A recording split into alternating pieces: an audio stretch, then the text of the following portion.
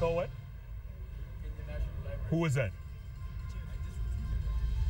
And welcome back to Jeff Koinange live from the Intercontinental. And I tell you, the tweets are coming in thick and fast.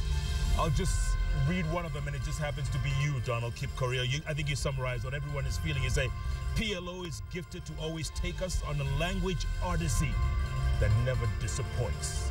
That, no doubt, summarizes the feelings of most tweeps tonight. Now, on a very serious note, let's face it, in the coming weeks and months, shows like Jicho Pevu, Inside Story, maybe even XYZ, maybe even this bench right here, could be a thing of the past. That's because a draconian bill passed by MPs the other day is heading to the president's desk for signing. The president said he'll look at it. Deputy president says no media will be gagged. But we know what people say one thing and do another. And these are serious times. This could be the end of freedom as we know it. Here to break it down more is a man who has a very serious interest in the media. He's chairman of Radio Africa. He also has a very serious interest in business. He's chairman of the Kenya National Chamber of Commerce. And yes, he's also chairman of the Media Owners Association. Kiprono Kittony. Hi, Jeff. Hey, Kip, good to see you, man. Good to see you, too. I, I know you're, you're very, dis- not only disappointed and disgusted, you are angry. You're seething after you heard what the MPs did the other day.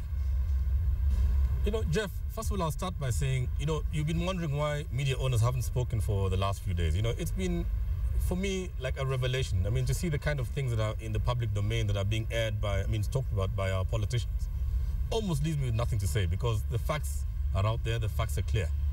We live in an English common law jurisdiction, and in the common law jurisdiction, there is the, the, the principle of supremacy of the Constitution prevails, where any law, any law contradicts the Constitution, the precedent has been that the Constitution will be upheld. And there isn't any precedent to the contrary. And when I see members of our legislature talk in the manner that they do, when three years ago we passed a new Constitution, the Constitution of 2010, it leaves me completely shocked and astounded. And I wonder where we are going. And of course, we're talking about Article 34 in the Constitution. Yes. That basically gives us the freedoms that we enjoy and cherish and make us do what we do. You know, Article 34, Jeff, specifically states that a body will be created that is free, independent from commercial, political, and uh, from commercial and political in, in influence. And now to see a body created that actually is completely fused by political interest, I mean, it completely contravenes the Constitution. What do you say, KK, when MPs like Jamleck Kamau get come on TV and they're defending what they said. They said, no, this is not a government institu institution. There's only one person out of government. He says, who will be picked by the Minister for IT.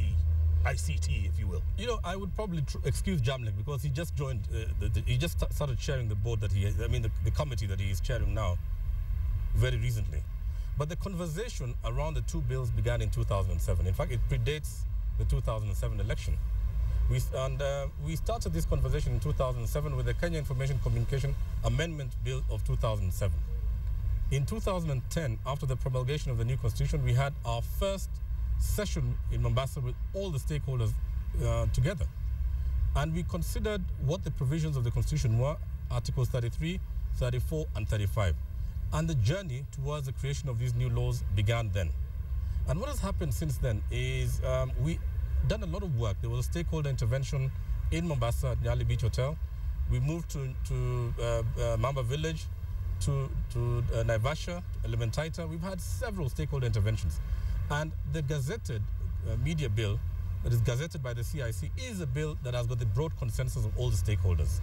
Now, we started to suspect that something had gone wrong when the Kenya Information Communication Amendment Bill leapfrogged the media bill, which already had stakeholder consensus. Mm. So, what was presented before the floor of the House, despite the fact that, yes, we did have a, a consultation with Jamleck, all the provisions of what we had proposed to him did not meet, see the light of day. Is Jamleck the same person who was featured in a, a, program on Citizen TV? I think it's called Roadhog or something. Yes. Uh, c- could it be that some of these MPs have an axe to grind because you know when the light is shone on them, Yes. you know, they, they, become defensive. They, they want to come after us. They want control. You know, I wouldn't want to talk about his misdemeanor on the road, but then the thing is, I mean, it's clear that the media in Kenya is in the crosshairs of a lot of the political class. And for me, the fact that we passed the 2010 constitution gives me solace in the fact that we will, at the end of the day, prevail. Because definitely what they have proposed in the Kenya Information Communication Amendment Bill is not in tandem with the constitution.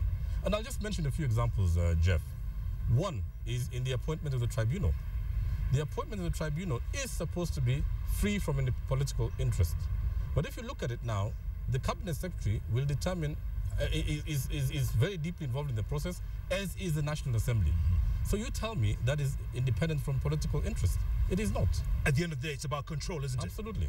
And the president too has also had a, a, a problem, or uh, he's, he's had some grief with the media as well. He's taken your paper to court a couple of times. You see, one thing about the president is that we are happy about the fact that he has actually sought recourse in the laid down channels. And he's actually been to the Media Council of Kenya as it is currently constituted to, when he's been aggrieved. And actually, judgments have been given in his favor, and the media is complying with those judgments. You see, what media disagrees about very many things, but then there's some few things. I'm sure, Jeff, you've seen on numerous occasions now, Linus, Patrick Quarcoo, myself, um, Sam Shollei, and all of us sitting down. And, and uh, the reason we are sitting down is because we are under siege. And we agree, and we are very clear in our minds that should the president sign this to law, we will have no option but to go to court. And then what happens? It'll be it's going to drag on for months. It's going to drag on forever. And, and and they'll probably pass that bill like they did the other day. Remember, there was only 28 people who debated it. Yes. They went outside and recruited 34 people, 32 people to make it 60 to pass the bill. Yes. They'll do this. They'll, they'll improvise this thing before we know it. You see, Jeff, looking at the majority leader, Duale, speak last night on television, and looking at what Jamleck Kamau talks about the same bill, it really makes me worried about where this country is headed to because it is clear what is provided in the constitution. And I'm very, very sure that even if they went and searched their own souls and read the constitution against the bill that they are proposing, they will re- realize the, the folly of their ways. I'll give you another example, uh, Jeff. Article 47 provides every Kenyan the right of fair administrative action. But if you look at the modality of removing uh, members from the tribunal, it is just on the basis of a complaint filed to the cabinet secretary. There is no provision whatsoever in that bill for fair administrative action. So that is another example of, of it contravening um, the constitution.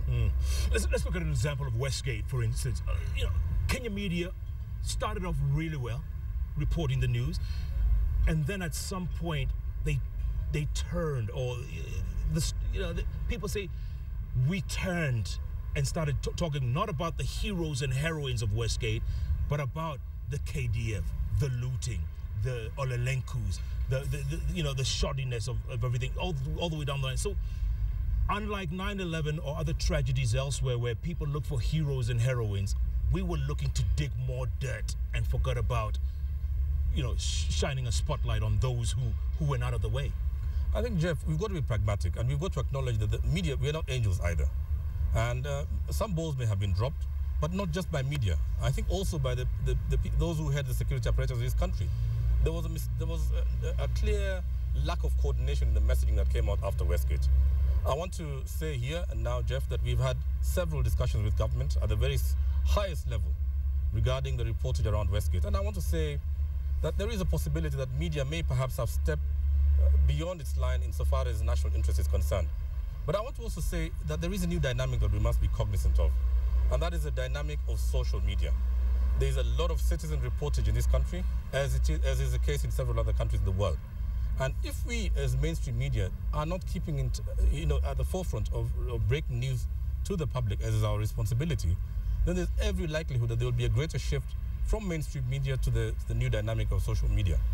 But I want to say also that, um, you know, we've agreed on a template for future disasters in the event, in the unfortunate, unlikely and unfortunate event that they do happen again, of how it will be covered. And we've agreed with government that a media center will be formed and information will be dis- disseminated on a need to and a, a- on, a, on a basis of as it, as it evolves. And we've also challenged government and said, look, in the event of such disasters, we need to see a more coordinated approach to the, their own messaging. Yes. And they shouldn't take 10, 11 hours to give a press conference Yes. when, when, when a disaster happens. Absolutely, and, and also remember, Jeff, that the role of media, traditional role of media, it has a watchdog role.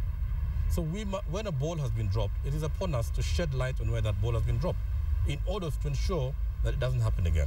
When I said at the top of this section uh, segment, uh, Kip, shows like Jicho Pevu, which everybody, I mean, this is like the standard, uh, you know, this is this is the meat and potatoes of television and the reporting and the research that goes into it, and also the risk that Mo- Moha and, and John Allan Namu go into doing their stories and their teams. This could be a thing of the past. Very likely. I mean, if obviously if, if the, the the bill that we are talking about now is passed, then not just that. I mean, anything. I mean, it's arbitrary. Yeah, when XYZ makes fun of the M pigs, that could be scrapped as well. Absolutely. In fact, Jeff, one of the things that we are very clear about is that the body, the tribunal that is purported to take over from the Complaints Commission, should not sit in the Kenya Information Communication Amendment Bill, but in the Media Bill, in the Media Council of Kenya Bill. And all matters of content control should sit with the Media Bill and not the KICA Bill. We're very clear about that, and it is also in tandem with global best practice. Why do you want in, in 2013, you know, to, to lag behind other nation, other countries? And you know, our neighboring countries in Africa, Kenyan media has always been looked at as the forefront, as really the vanguard of media in Africa. Yeah. And to see what they're doing now is, is really uh, to take us back into the old days. You were talking about you and Patrick and Linus and Sam meeting every now and then. Yes. Why can't you all unite and give them all a blackout? You know, there's nothing as worse as MPs being given a blackout and, and their stuff not being reported because if a tree falls in the forest and no one hears it, who cares if it fell? Jeff, that's an option. But you see, two wrongs do not make a right. We have a responsibility to also report to the public. But it is an option. I mean, if, if at the end of the day we are left with very little options to do, we can we can do that. And uh, and absolutely, we are looking at all measures. But we believe in the court structure in Kenya. And I'll also mention another point uh, that is uh, unconstitutional in the new bill. Articles 163 and 164 of the Constitution provide for the creation of the Court of Appeal and the Supreme Court of this country.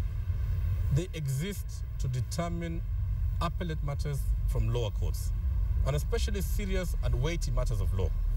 But if you look at the bill as it's proposed now, they actually extinguish appellate structure after the tribunal at the High Court, meaning that the existence of the High Court of Appeal and the Supreme Court is nullified insofar as the existence of this bill is concerned. And like I mentioned again, Jeff, and I repeat again, where any law is inconsistent to the Constitution, the law is void to the extent of its inconsistency. That is what the law provides. At the end of the day, Kip, why us? Why are they going after us? Is it just they have to control the media? Is that what it is? I think the media has been very aggressive insofar as its reportage is concerned. The media has been uh, robust, and uh, the media has also exposed a lot of social ills in this country, even around the leadership class. I mean, and the leader, the, the media continues to hold them to account. Um, yes, there have been instances where the media perhaps may have not done what is expected of them, but I do still believe that it is no reason for a law such as what is proposed now to be proposed to Kenyans. Yeah. Bob Collymore here says, uh, hey, Bob, he says, I've never seen Kiprono Kittony so angry as he appears on the bench tonight. you are pretty pissed off, aren't you? Bob, I, I, I, Bob, I'm sure you know why I'm, I'm, I'm upset because I mean we can't sit back and watch all this legislative mischief take place in this country. You know, look, bottom line, president signs this, you guys go to court. Yes. And then what? We expect that the court will do the right thing and uphold the supremacy of the Constitution. Simple as that. Yeah, but you know, And I, and I think it might not be a very bad idea because, again, you know, we are testing the jurisprudence, of, we are creating our new jurisprudence. And we need the public, we need Kenyans to have confidence in the, in the, in the judicial system of this country. yeah. I mean, and and so you know, one of uh, one other aspect of the English common law is the doctrine of precedent. The English common law stands on the doctrine of precedent. What does that mean? It means that any case that has been determined in a in a certain fashion, the same precedents will follow in in all subsequent cases. So, in the history of Kenya, there has been no law that has passed that is inconsistent to the constitution. Mm. So I don't see where I mean why these Jamleck Kamau thinks that this law will pass. Unbelievable. Jabez Machiavelli says, ask Kittony to rate the professionalism of Kenyan journalists. That's a very, very good question. I mean, we continue to have serious challenges the, on professionalism, and the code of ethics uh, by the Media Council of Kenya is, in, is applied right now. The Complaints Commission at the Media Council of Kenya is used uh, by even His Excellency the President, who's appeared before the Complaints Commission on numerous occasions. And, uh, you know, the media practice in Kenya is evolving and continues to, you know, the checks and balances provided through that Complaints Commission continue to apply. Mm. But I do agree that there's a lot, a lot more scope for training, a lot more scope for improving and enhancing the professional conduct of Kenyan journalists. Absolutely. Yeah. Good point. Okay. Martin Ocholi says, someone tell MPs that you don't smash the mirror if you don't like its reflection of you. Here's another one. Ahmed Abdi, what is the point of a media run by the government? How will the common man get information, especially in a digital government? Good question. And Jeff, you know, I look at it also in terms of the broader challenges that the media in Kenya is facing. I'm not sure whether you're aware of the challenges we're having around the digital migration date. Mm -hmm. You know, we are going through a real circus insofar as that is concerned. And, um, you know, last week we received an SMS. We had a, a meeting with the top leadership of the country and we agreed that uh, the issue of digital migration will be looked at because December 13th, in, in our opinion, and our very well considered opinion, is too soon for Kenyans. We are not certain that there are enough set-up boxes in the country. And the issue, and the very, very important issue around who controls the, the digital distribution platforms has still not been addressed. The Kenyan media has on numerous occasions raised its voice and said we would like to be put on a level playing field with the foreign players who've been licensed to distribute their signals in Kenya. The government has to this date not been able to respond to us. And as things stand, December 13th, it is. And we're seeing a situation playing out very similar to what played out in Tanzania, where we had a foreign player come in and, and take over distribution of digital signal. We had a media owner uh, fraternity raising their voices in, in, protest. We had the, the regulators, you know, you know, working in tandem with the foreign players that, that are, you know, hell bent on ensuring that, the, that migration comes sooner rather than later. And on the day that Tan Tanzania migrated, 70% of their TV boxes went, went blank. And I can assure you, Jeff, that if nothing is done to remedy that situation, on December the 13th, you have a very, very high likelihood that 70 or even 80% of Kenyans will have no access to television. The day after 50 years, a day after Jubilee? 12 days before Christmas. a month before kids go to school. Yeah. Dowdin says the media took sides in the last general election as usual. If only they were neutral, now it's payback time. Well, I'd like to know whose side we took because, uh, you know, we've, we've all been accused of taking different sides. I mean, that's uh, really a matter of contention. The government has been caught. This is Moses Mandela. You say the government has been courting the East, China, and the like, where media freedom does not exist social media is next. You mentioned that. Yes. And social media will be uncontrollable. It's it's a new dynamic. We've got to all contend with it. It's a powerful uh, new medium, and um, I think as a business person, I'd look at, I'd rather look at the opportunity in it rather than the, the, the challenges. But of course, issues of how to control social media is one that needs to. I mean, I would still look at it from the perspective of uh, self-regulation.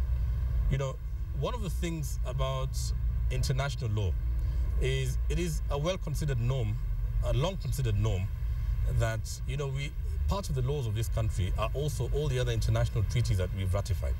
So global best practice today is for media to self-regulate. And I would think that also social media will be obligated to self-regulate themselves. Yeah, eventually.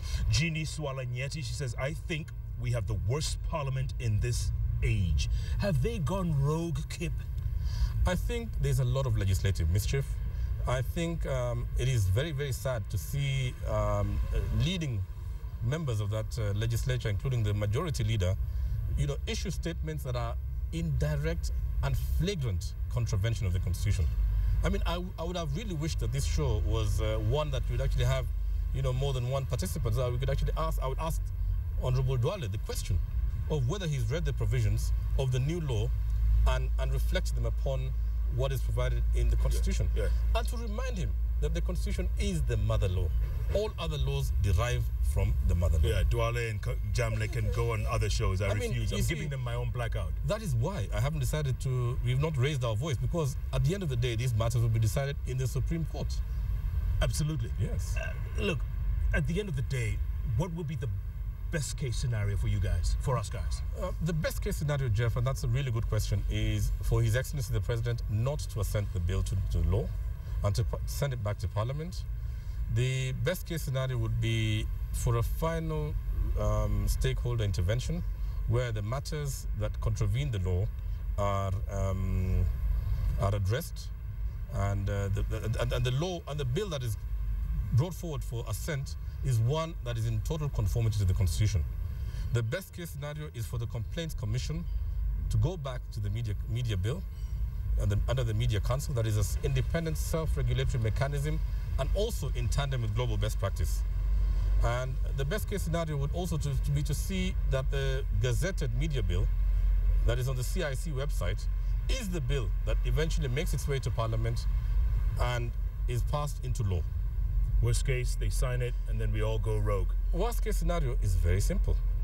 It will be a very good case for the judicial system in Kenya to, to, to, to, determine in order for the public to have greater confidence in the judicial system of Kenya. Let's hope it doesn't come to that, Kip. I pray so. Good luck, my friend. Thank you very much. All the best, man. Thanks for your insights. Kiprono Kittony there, the chairman of the Media Owners Association, breaking it down. These could be the end of days for shows like this one and others that you all love. Jicho Pevu, Inside Story, XYZ, Roadhog, you name it. If president signs that bill into law, could also be the beginning of the end of freedoms as we know it.